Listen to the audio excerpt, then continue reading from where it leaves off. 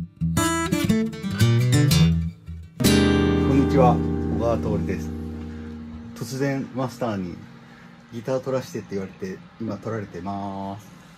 このギターはギルドというメーカーのスターファイヤーですかね。スターファイヤーっていう機種だと思います。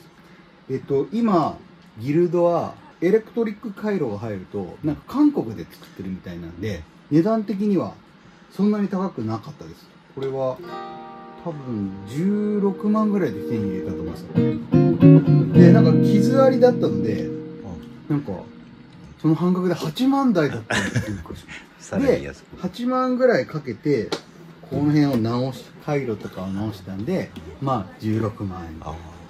枯れ枯れ切ってない感じ？が結構気に入ってるギルドのスターファイヤーでございました。ありがとう。